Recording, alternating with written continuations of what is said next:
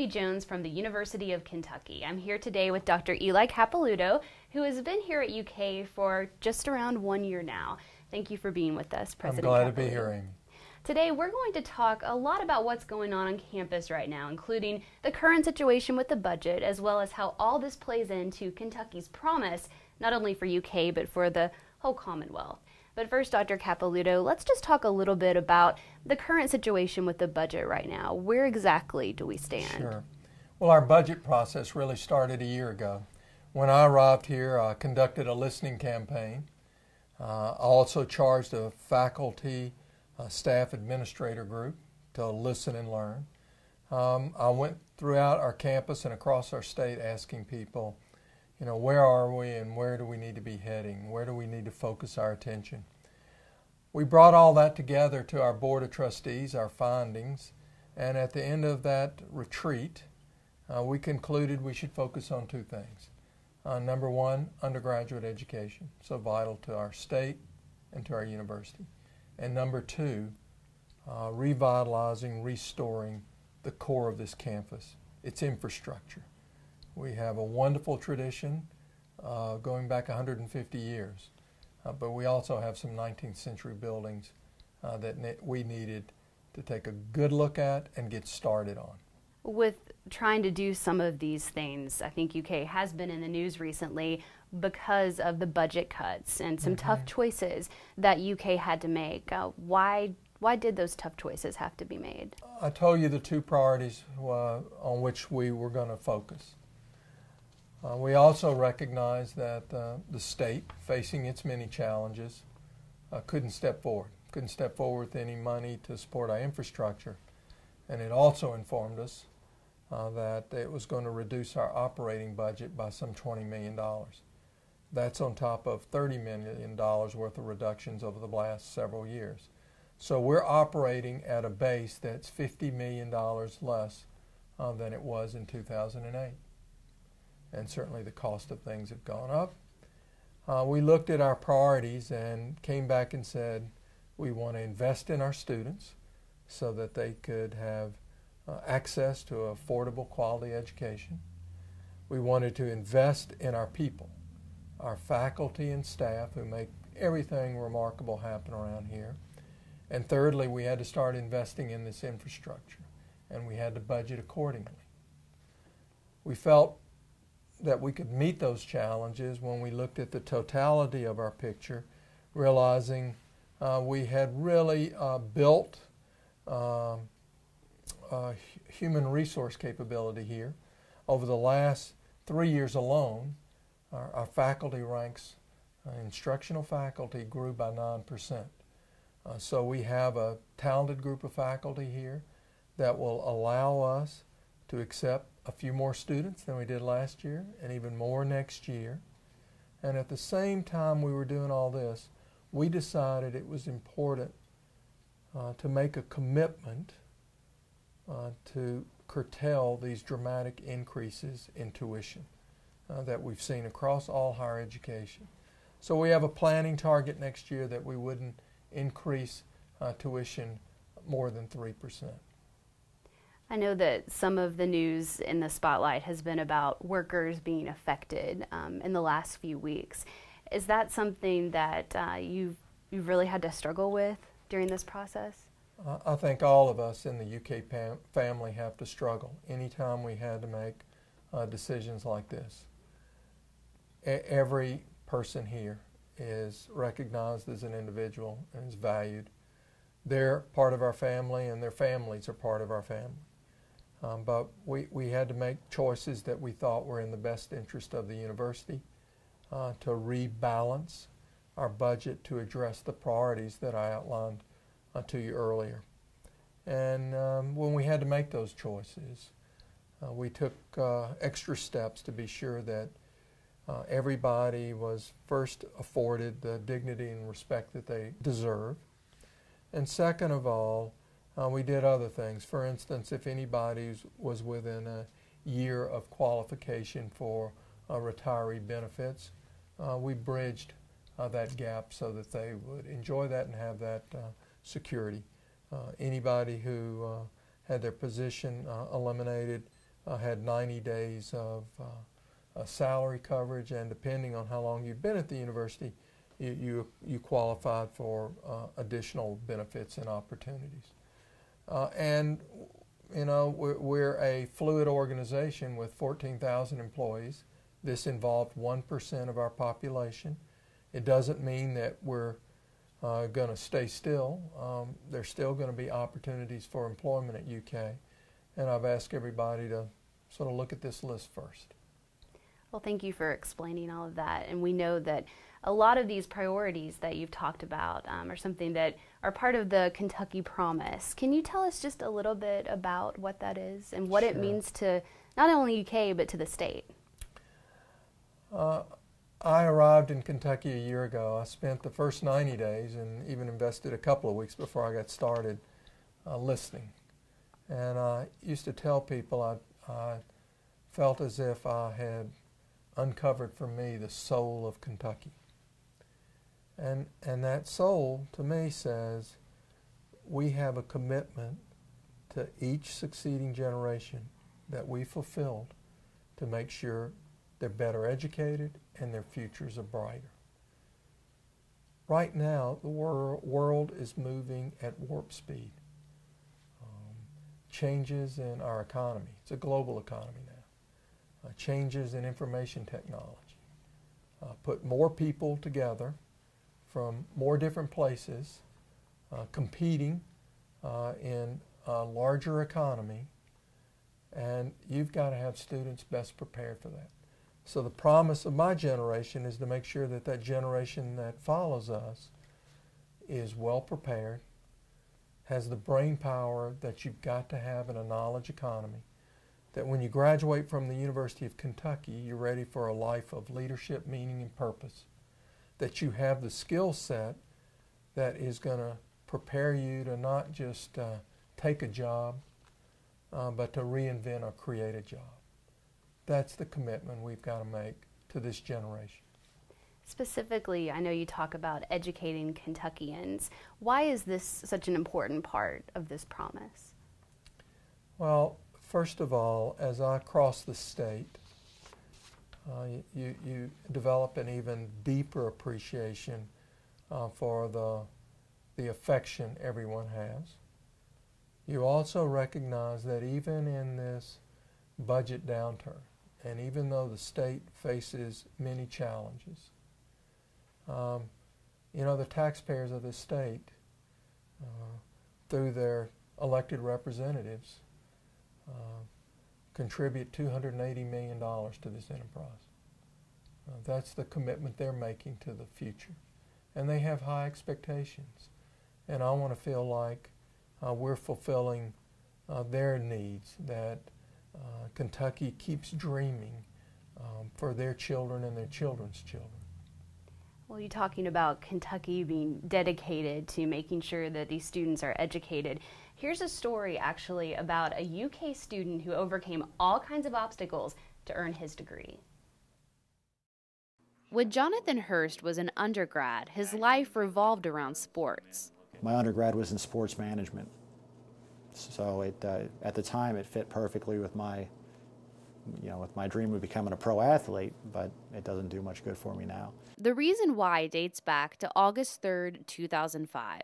Hurst was in Iraq completing the last month of his second year long deployment when his life completely changed. It was about 2 o'clock in the afternoon, Iraq time, um, and our mission or our patrol ended at 2 o'clock, so we were actually on our way back. We were called that we found an IED on the side of the road or an improvised explosive device, roadside bomb. I was the lead man out of the vehicle, and uh, as we were walking to the nearest building so that we could get on the rooftop and, and set up a sniper position. Uh, about 10 feet to my right, uh, I remember a flash and an explosion. And um, next thing I remember, I was laying on my back and uh, screaming to all the guys because I could obviously at that point know, knew that a, a bomb had gone off. I was kind of in and out of consciousness, um, but the what I was told was that I tried to get up and one of my uh, squad members tackled me and had a tourniquet, put a tourniquet on my leg Um, and then within 20 minutes, I was on the surgery table uh, with five surgeons. My left leg was missing uh, below the knee. Part of my colon was, was severed. Um, part, my bladder was punctured. Uh, my right leg, the femoral vein was sliced. Um, a lot of nerve damage, shrapnel. Two days later, I woke up and uh, my entire squad was standing around my bed. Since then, Hurst has undergone 17 different surgeries, battled post traumatic stress disorder, and the pain every continues. Day. To this day, every day, all day long. Despite it all, Hurst will walk across the stage for this weekend's commencement to earn his master's degree in social work, a goal that started during his rehabilitation process. When I was at Walter Reed, doctors would come in every day and, and high power figures, you know, President Bush would come in to my room and a lot of different people. Um, but the one person that would come on a daily basis was the social worker at the hospital. And he's the one that uh, really kind of inspired me as I could see that, you know, what he said to me and what he did for me to try to make my, re, uh, my transition process easier. And he was doing this for every veteran that was there. Um, just really inspired me. Hurst admits the transition back to school was tough my PTSD did play a huge role in, in would I be able to sit in a classroom, a confined classroom with other people, or would the professors understand where I'm coming from? But he says the people at UK's Veterans Resource Center helped. It has been a huge support for me. With Tony Dotson has always been there to answer questions, to offer support, um, to advocate for any veteran that is getting treated what they feel wrongly on campus. So, after years of pain and lots of hard work, Hurst hopes to take in the moment as he graduates on Sunday. I hope I earn the respect of my family and friends as I walk across the stage. Respect that goes far beyond his degree. Beyond educating students like Jonathan, who we just saw, you also speak about the importance of UK's impact in terms of outreach and service across the Commonwealth. Why is that so important? Well, that's part of our land grant mission. And we were a land grant university that birthed a medical center.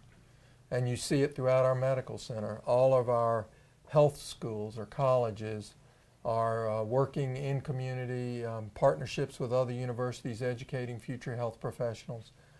Our hospital in the last seven years has raised its uh, annual admissions from 19,000 to 35,000 patients. They're largely from Kentucky, that increase. We partner with community hospitals to make sure we can provide that specialized care that's typically not available and then get them back to their home community where their local physician and hospital can care for them. Also, I don't know uh, if everybody realizes this, as part of our $280 million budget is the monies uh, that support and, a, a, great portion of our extension program in all 120 counties. And you can find extension agents that deal with everything from uh, agriculture um, issues. Um, we, we have uh, fine arts agents. Uh, we have those who are trying to increase STEM education, focusing on the science, technology, engineering, and math. Uh, they do all those kinds of services. We're only a great university when we're relevant to the citizens of Kentucky. And pro by providing that service, every, everywhere from specialized care uh, to what we've done in West Liberty, where you know Sarah Fanning, as a county agent, provides uh, home gardening uh, so that folks who are having a tough time can put affordable, healthy food on their plates. When those storms came through, and I heard that our West Liberty Extension office was so heavily damaged, I called Sarah Fanning, and there she was working out of her home. She didn't have much time for me uh, because she was busy at work. She'd already arranged for contributions of feed and fencing, all kinds of things, such that uh, uh, those uh, uh, farmers in that area wouldn't have their livelihood threatened. Um, that's the kind of commitment I see every day at the University of Kentucky. It's because they love this institution and love serving their fellow citizens. UK is impacting the state. Why is it so important that UK serve the whole state of Kentucky? First, we should never forget or get far away from uh, the premise of our founding, and that was to educate the sons and daughters of Kentucky. Today, the world is a lot different than it was 150 years ago. Uh, I just returned uh, from a trip to China where uh, our faculty have been working on some fascinating collaborations uh, but during that trip, I was reminded that, uh, you know, when you look at China and India, there are now 2 billion more people who want to live their version of the American dream. And the competition has gone to a whole nother level. And you've got to be prepared uh, to succeed in that kind of environment where the competition is ramped up, where you have to have a toolkit of skills, which we provide here at UK, uh, but one that once you even leave UK, you are prepared uh, to augment in all kinds of ways. I felt confident when I was, on, uh, when I was in China. I saw uh, stu students in our uh, global programs who are learning how to navigate smoothly uh, through sectors of the society, through different cultures, languages. We're doing a great job at preparing our students for this rapidly changing world. Well, when these students get here and they have these opportunities, we want to make sure they have great faculty. Yes. And we definitely do around campus. Our next video features the best of the best professors on campus who were recently named the Great Teachers of the Year by the UK Alumni Association. I love being a teacher. And the fact that the UK Alumni Association recognizes and has recognized for 50 years great teaching is, is really special. I am very grateful for this award. I know how many great teachers there are at the university. What touched me the most about the award is, is who it came from. It means recognition, recognition from the people who count most, which is your students. Uh, it felt uh, great uh, to be, um, uh, to sort of think of the amount of time and energy and initiative that went into it uh, on the part of the students, and I was, of course, very appreciative of that. It means a lot to me. You know, I mean, that's one of the reasons why I wanted to become a teacher was to become a good teacher, and maybe it just took me a little bit longer than some of the other people. But uh, so in that sense, I, it feels good. I, I was recognized for what I hope I do well.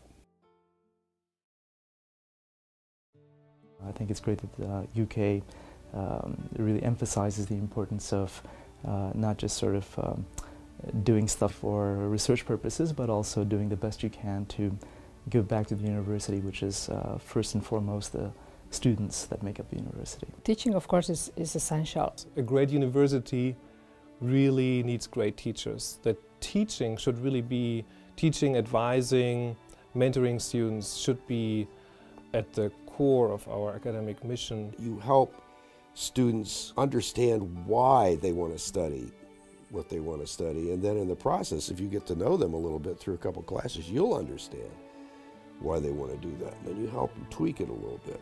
There are things that you can very concretely help a student with that will make her future more likely to be achievable. Great teaching doesn't overshadow or, or discount any other activity. and in fact, is the scaffolding upon which all these other wonderful activities and accomplishments are built. When you have that triad of teaching, clinical, and research, and you can bring it all together um, in a learning environment, I think that was kind of what's put UK ahead. I teach because it's something that I can go to work and I can say I love to do. You spend so much of your time at work, it's kind of cliche, but you have to love what you do, and I love what I do. I the idea of a university is just a fantastic um, element of what makes our society what it is. Uh, the open exchange of ideas, and the enshrinement of values uh, where you can question people. I really uh, admire the space that's been created in society for this kind of activity and engagement and uh, find it uh, very stimulating and um, uh, definitely really love what I do for a living. I've just always enjoyed doing it, and students really keep you going. The fact that I get a salary and benefits is icing on the cake because I get so much satisfaction from from the students themselves. It's the students that motivate you and knowing they are ambitious, they want to learn. It's um, seeing students succeed, you know, seeing students do well, seeing them getting a grant, landing a great job, seeing them, I don't know, getting something, reading through the texts and asking questions on their own, questions that don't have a quick and you know, a ready answer. So that, that's really rewarding to me. It's fun to watch students learn. It's fun to watch students get it.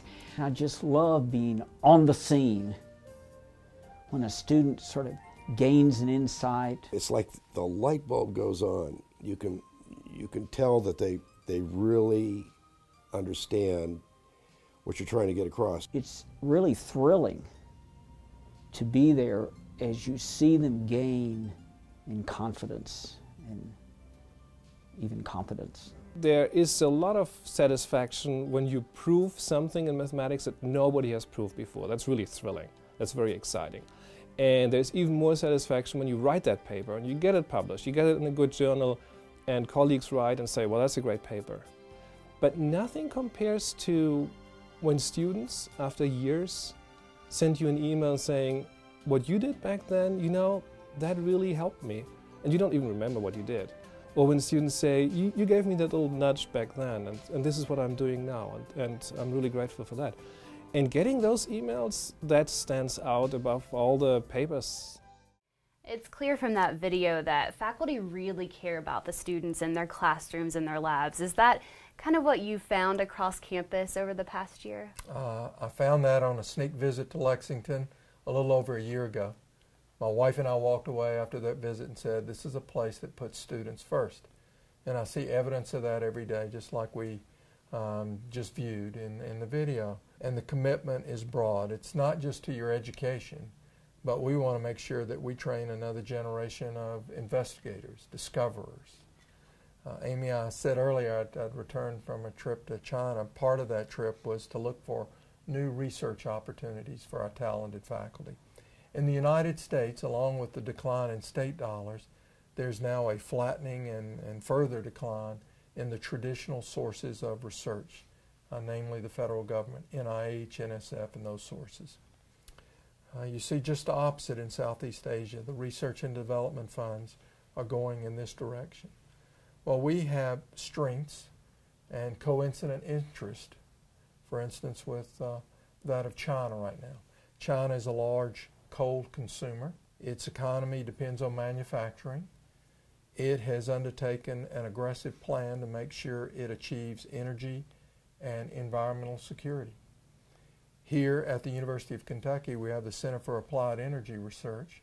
Uh, talented researchers who accompanied me on the trip, uh, Rodney Andrews and uh, Kunlei Liu. Uh, these were rock stars over there, by the way. Uh, we learned while we were there that China is going to invest a thousand billion dollars. A thousand billion is a trillion over the next five years in clean energy, uh, uh, carbon uh, recapture, um, uh, coal to liquid fuels, and so forth. This is the same research that we're leading here at UK. We got a Department of Energy grant to look at these same areas. Well, we have the opportunity now to collaborate with investigators attract funding from abroad so that the discoveries that always advance society uh, can advance our state, uh, our country, and, and indeed the globe. You've got to have a rich talent pool to be able to do those kinds of things, to teach our students well and prepare them for the 21st century, and to answer the issues of our day. That's what we have at UK. It is very, very precious. That's why next year uh, we've set it as a goal uh, to do an aggressive 5% merit salary plan for our faculty and our staff. We've talked about today so far quite a bit, but a lot of it about UK's kind of financial situation right now, but more broadly, what all of this means to Kentucky's promise and the future of this institution. What is your hope for UK's future? What I want people to know is we're going to grow our way to the top by making these investments, using a public-private partnership to put 9,000 new beds on this campus so we can attract the best and brightest and we can make sure that when somebody leaves Kentucky, they are the best and brightest because they're going to have living learning opportunities in facilities that lend themselves to a 21st century education. At the same time, while we're investing in this infrastructure, new classrooms, new laboratories, we're going to put Kentuckians back to work. We broke ground on a residence hall just a few months ago. You know, we got a couple hundred people over there working. We can put hundreds more back to work building something that is going to secure Kentucky's future for another 50 years, another 150 years. But we've got to do it now. This is a rare opportunity where construction prices are where they are, where the cost of borrowing money is as low as it is. We have got to seize the moment. And how do we do that? Well, we, we, our board of trustees, who I applaud by overwhelming majority, uh, endorsed our first step in the budget that they approved this week. And we're going to be dialoguing with them, our faculty, and our staff over the next several months to understand what's the next best step or steps we can take. Um, we've talked a lot today, um, but I would want to ask you just to kind of wrap up. What is the one message you would want to get out there to the people of Kentucky if you could at this point in time? First of all, you should be extremely gratified and proud of what's going here going on here at the University of Kentucky. We are fulfilling our promise. And then you should be very optimistic about the future. We are making the hard decisions to secure that future, to win that future for Kentucky. And so the future is extremely bright. And I want everybody to know how much we appreciate their support, their precious tax dollars, the philanthropy that is uh, increasing here. People are generously supporting this university. And it's going to take all of us working together to fulfill this promise. Thank you so much for taking the time to talk with us today about these important topics. Uh, Amy, I'm grateful for the opportunity. If you would like to keep up with all the news from the University of Kentucky or watch this show in its entirety, visit uknow.uky.edu. You can also follow President Capilouto on Twitter, like him on Facebook, or read his blog on UK's homepage, uky.edu. Thanks so much for joining us.